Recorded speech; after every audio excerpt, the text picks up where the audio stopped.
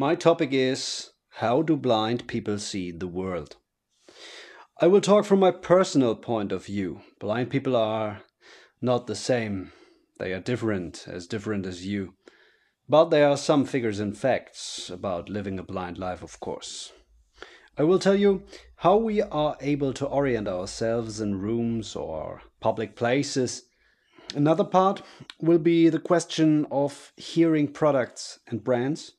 And last but not least, I will focus on opportunities and risks of multimedia for blind people.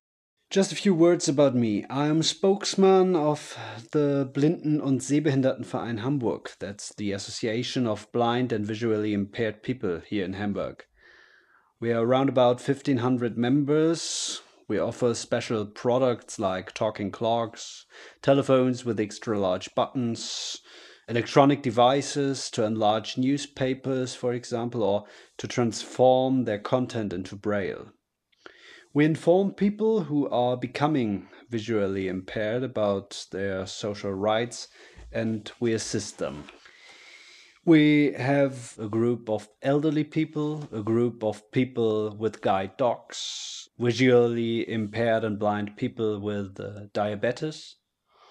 We inform uh, web agencies and companies about accessibility, which is important for us because blind and visually impaired people can use accessible websites without assistance.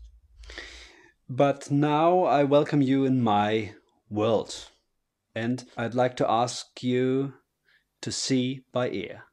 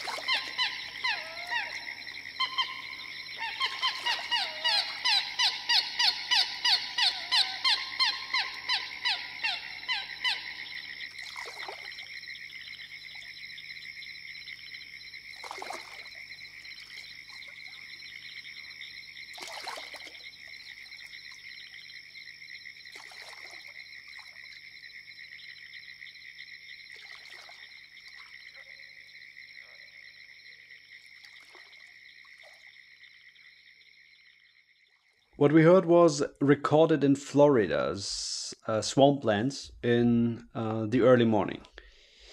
A second cut. Where are we now and what do you see with your ears?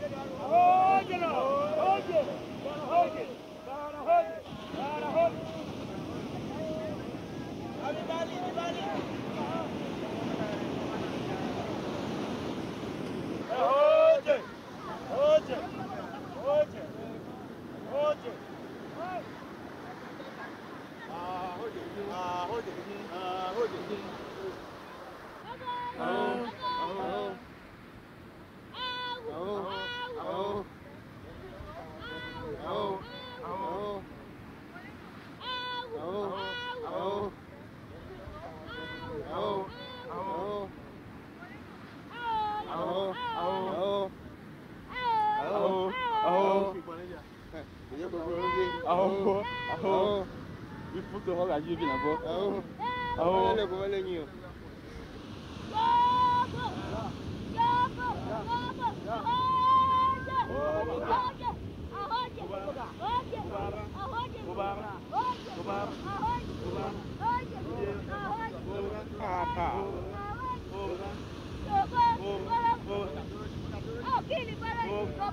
Pere, pere, pere, pere.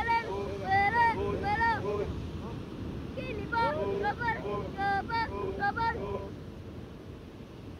Attention, attention, attention, attention.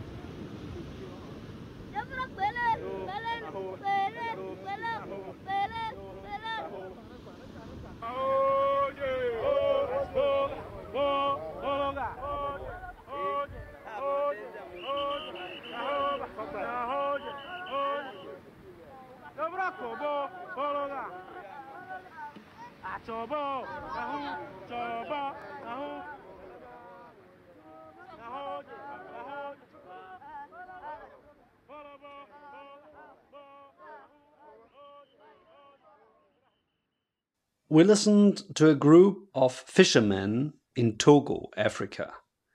They were reeling in their very big fishing net. I think these two examples show that there is sound all over our planet. In uh, crowded cities, of course, in small villages, at beaches, in the forest. All these sounds give us information about our surrounding, and all these sounds stimulate our emotions in a positive or in a negative way. People who are able to see often forget how different and how wonderful our planet sounds. There's one more example. Listen, and perhaps you can tell after this what kind of event it was.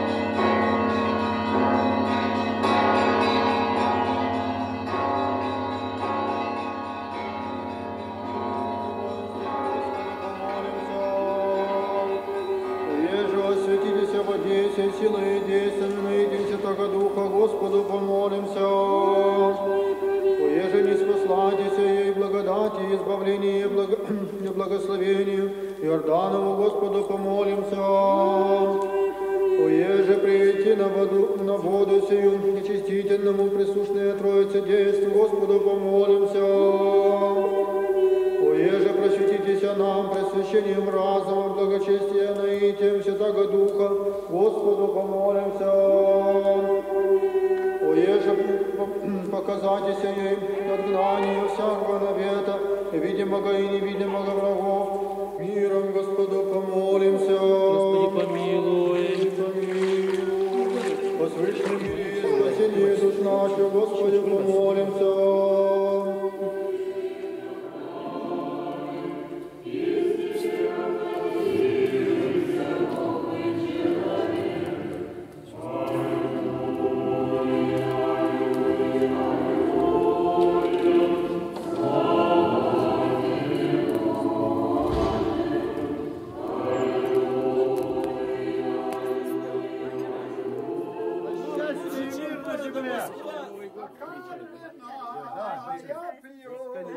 Лучше, чем город Москва, я еще не видел. Честно скажу.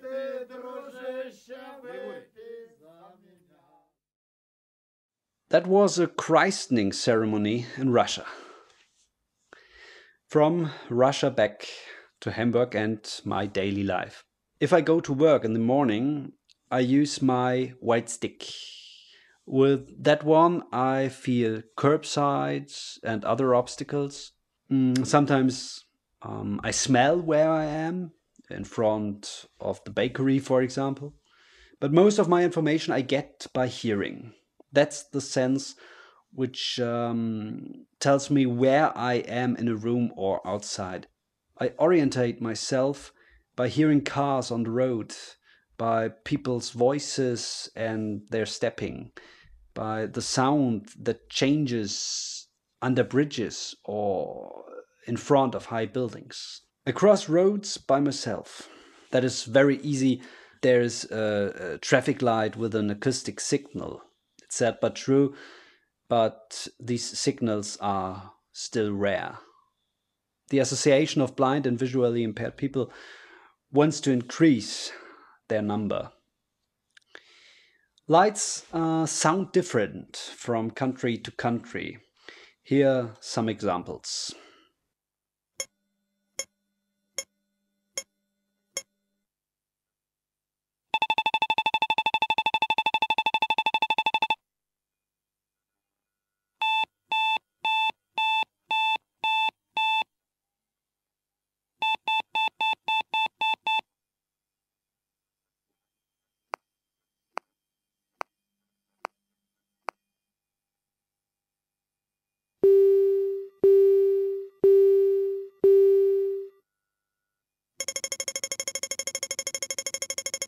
It's the same in your business. As a public relations consultant, I have to work with a computer.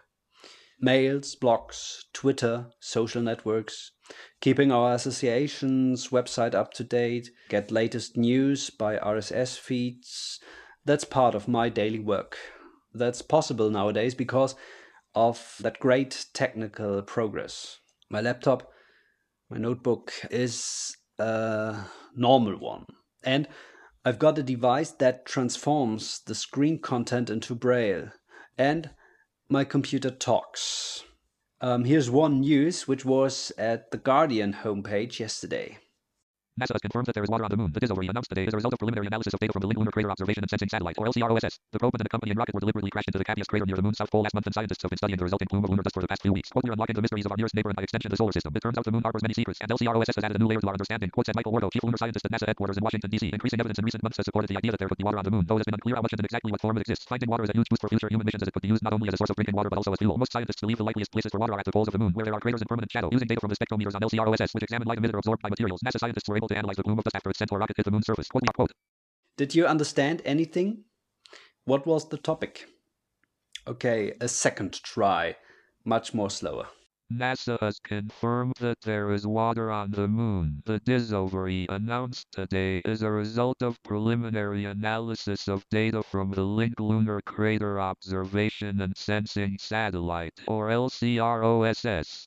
The probe and an accompanying rocket were deliberately crashed into the Cabeus crater near the moon's south pole last month and scientists have been studying the resulting plume of lunar dust for the past few weeks. Quote, we're unlocking the mysteries of our nearest neighbor and by extension the solar system. It turns out the moon harbors many secrets and LCROSS has added a new layer to our understanding. Quote, said Michael Ward Wargo, chief lunar scientist at NASA headquarters in Washington, D.C. Period.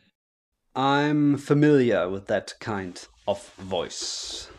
I work with it every day for more than 10 years now. That's why I understand it when uh, yeah, when it runs uh, very fast. It's not because blind people have a better hearing sense. Um, it's just training. As I already mentioned, modern media is a big chance for blind people. The internet brings us a mass of uh, latest information. 10 or 15 years ago, we were not able to read a daily newspaper because it wasn't printed in Braille. But today, we can read it in the web.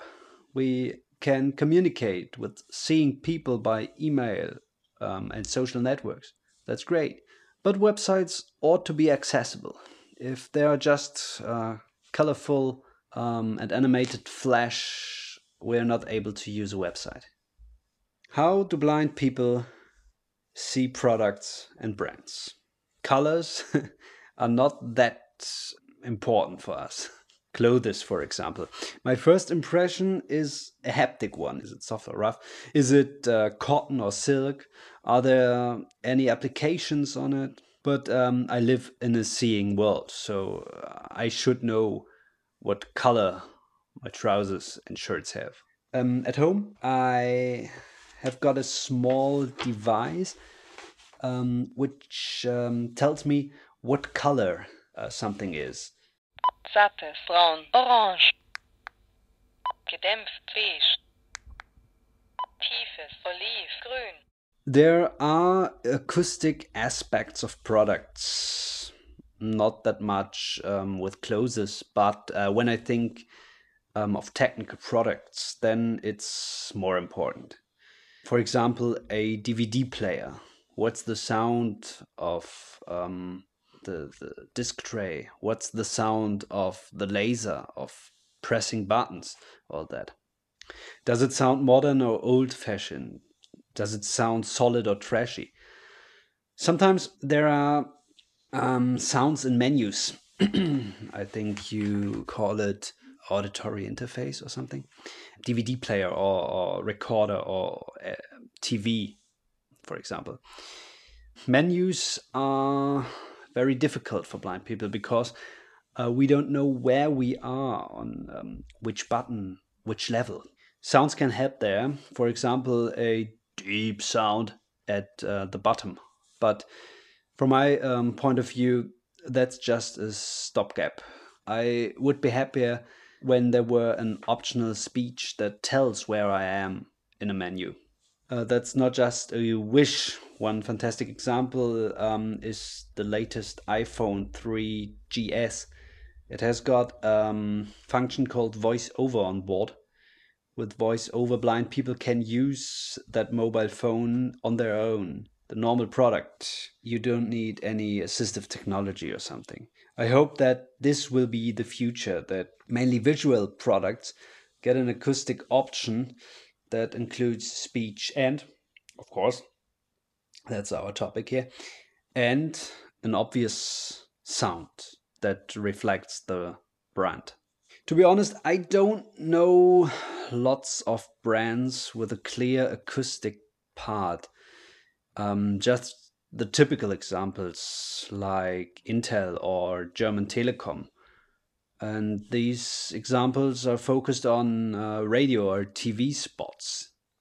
yes, I watch TV. um, it's seldom that I hear brand sounds in public places.